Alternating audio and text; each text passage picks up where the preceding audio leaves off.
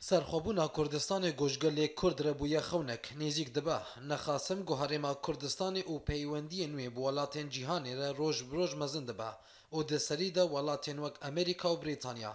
لسر وی بابت واشنگتن دبینا گروج هلاتا ناوینیا مزن هاتیه فرس کرن و خزمتا پیش روژه نکه او جارا یک کمین گل سر وی مجاری هاتا گنگشه کرن دما وزیر کار دروی امریکی کۆندۆلیزا ڕایس دە ساڵە 2016 دا سەردانا تل ئەبی بێکرد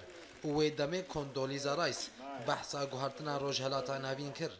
رێڤەبەریە ئەمریکیە بەرێ لەسەر دخالینجە هەف جوداتا کەس دەکرد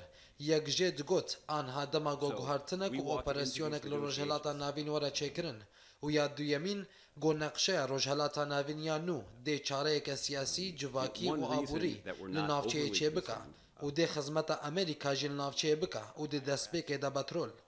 جالی خوبه د همان ساله ده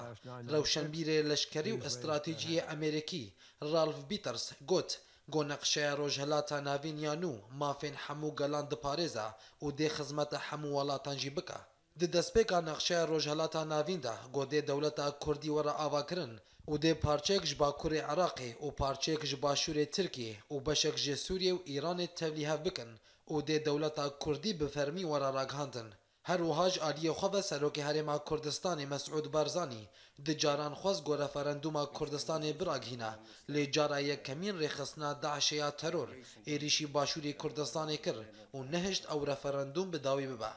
û ya duyemîn berî demekê bû lê vê carê partiyên Kurdî bi berjewendiyên xwe yên teng li pêşiya referendumê sekinîn yek jê seredana fermandarên Partiya Karkerên Kurdistanê bû Bexdayê da guhevgirtinekê li dijî xwesteka Serokê Herêma Kurdistanê Mesûd Barzanî û gel lê Kurd bisekinin.